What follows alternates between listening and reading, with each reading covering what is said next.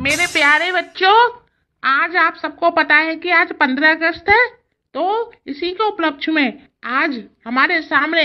हमारे विद्यालय का सबसे होनार विद्यार्थी, हमारा प्यारा चिंटू, पंद्रह अगस्त पर